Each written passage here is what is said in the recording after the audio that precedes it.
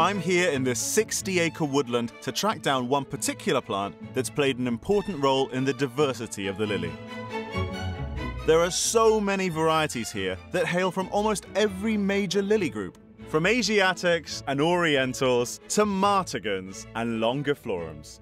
Tim Whiteley is the man behind this spectacular collection that's spread across this vast landscape. But finding the flower in question may take some time. Or maybe not. Tim, I need one of these. Talk about a civilized way to see a garden. Beep, beep.